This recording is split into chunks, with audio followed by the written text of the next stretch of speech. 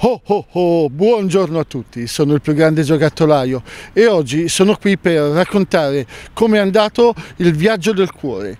Allora, insieme con Mamma Natale Marzia Faggio siamo partiti qui dalla prefettura di Varese eh, sabato 5 novembre e abbiamo toccato svariate città qui del nord Italia. Siamo stati ad Arona, a Biella, a Settimo Torinese, a Chiavari e in tutte queste città abbiamo fatto delle grandissime raccolte di regali che poi abbiamo iniziato già a portare da martedì nelle pediatrie, nelle oncologie, nelle case famiglia.